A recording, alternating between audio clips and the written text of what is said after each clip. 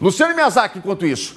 Ô, Luciane, e aí? É, mandar de prisão contra. É, é, perdão, na casa de custódia, mas na casa de custódia não está quem já teve um mandado de prisão é, ou é contra um trabalhador da casa de custódia? Hein, Luciane? Explica pra gente.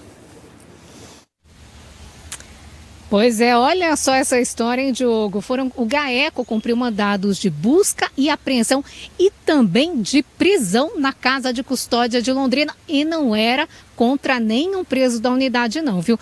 Durante a investigação foram apreendidos aparelhos de celular, maconha e também fumo.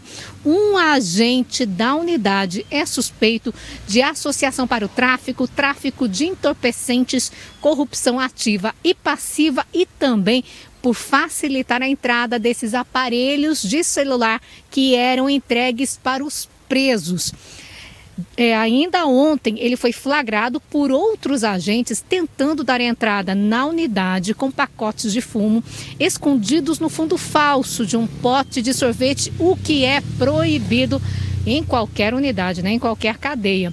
Na sequência, em diligências aí posteriores, ele acabou preso em flagrante por porte ilegal de arma.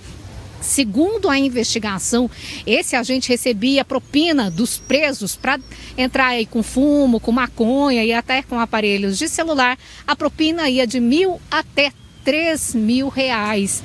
Agora a investigação continua com a ajuda da direção da Casa de Custódia para tentar descobrir se há mais pessoas envolvidas ou até outros agentes da unidade. Diogo. É, Luciane.